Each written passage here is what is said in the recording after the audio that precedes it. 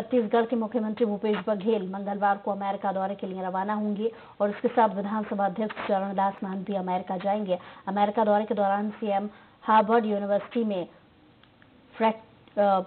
Lecture देंगे और कई संगठनों से मुलाकात भी करेंगे। हार्वर्ड यूनिवर्सिटी में लेक्चर होगा और वहाँ निवेश की गई संभावनाएँ तलाशेंगे। कई संगठनों से मुलाकात भी होगी।